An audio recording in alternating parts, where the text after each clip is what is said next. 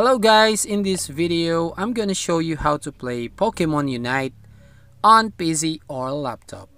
It's quite easy, you just need to follow these simple steps on how to download your favorite game to your computer. So first, you need to download an Android emulator like BlueStacks. It's a popular choice to play mobile games to your computer. Now to download, you just need to go to bluestacks.com.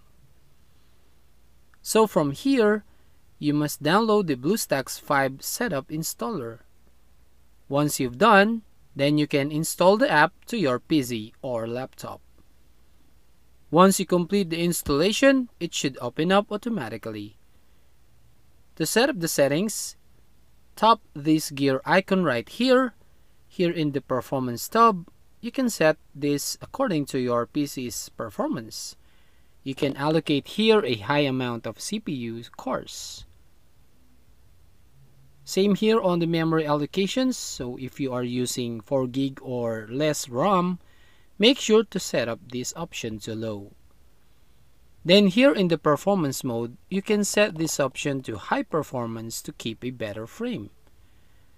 You can also enable the high FPS option and set the frame rate of the emulator according to your screen refresh rate.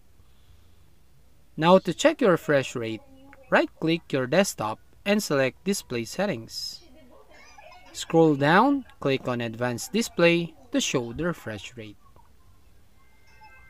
Now going back to settings, here in Display Settings, you can also use a resolution of 1920 by 1080 or you can leave other settings to default option.